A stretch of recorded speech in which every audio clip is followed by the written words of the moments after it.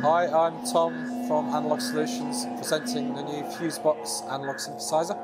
Uh, here it is, uh, full analog um, monosynth, and we have three oscillators, mixer, multi-mode filter, which has got low pass, high pass, notch, and band pass filters in there.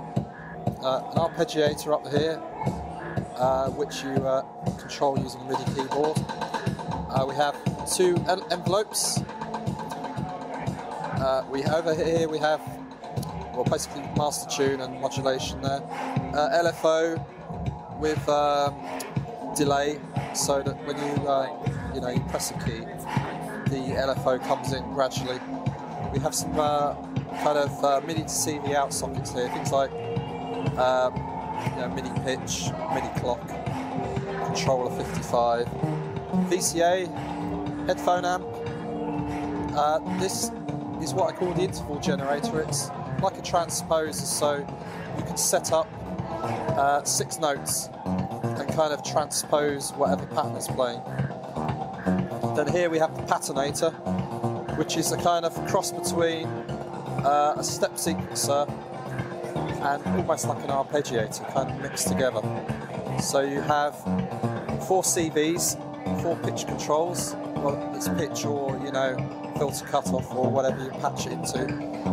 Uh, and then these two controls uh, tell it which uh, beats to turn on and off. So it's like eight gate steps. Uh, and using these uh, knobs here, you can decide which which beats it will play.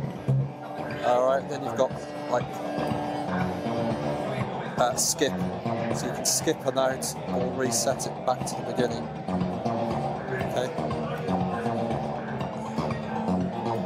Alright, um, the whole synth, uh, it'll basically work without patch leads, but everything can be completely rewired.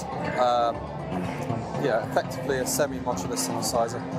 Um, this is the flat version, and over there we've got the upright version, which is the standard, standard way it ships. Um, but you can flip the panel around and have it like this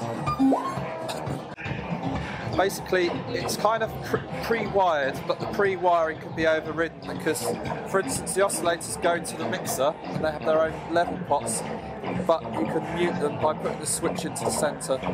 So up, up is one waveform, down is the other, centre is off. So you can completely isolate the oscillator and use it as a modulator, for instance.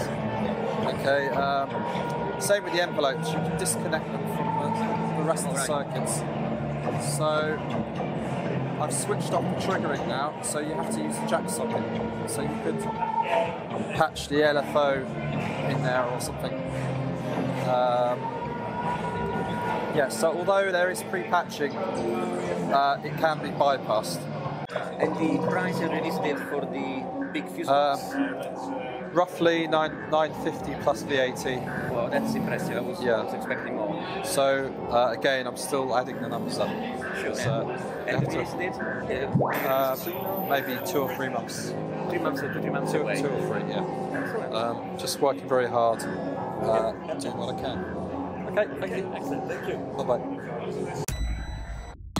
bye.